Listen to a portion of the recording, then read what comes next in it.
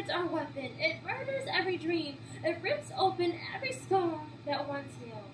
They may say sticks and stones may break my bones, but words will never.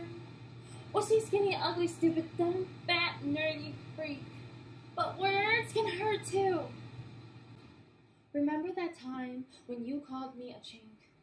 I do not look the same as everyone else. My race and skin color does not define me.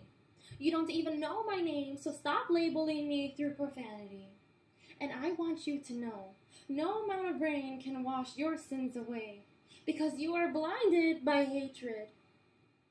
And I dare you to share half my sorrow. I dare you to endure half my affliction. I dare you to walk the walk that I walked, fight the battles I fought, and climb the hills I've climbed with these ripped and torn down shoes. Maybe one time you did. Maybe one time you had a beating heart. But now it turns to stone that is colder than December. But that doesn't mean that you should take mine.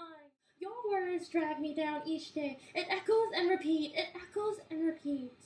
Did you forget I am the person who cannot forget? Did you forget I am the person who has sensibility? Did you forget that I am a person just like you?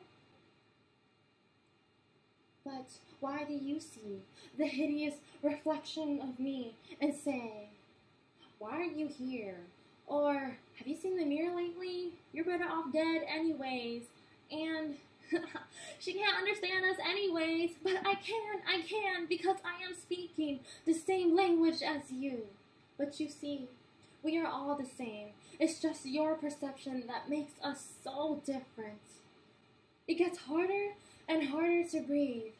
But I still want my heart to beat. I want it to beat loud enough to break the silence of others. Loud enough so your heart can beat again. Loud enough so you can see your own destruction. So you can stop.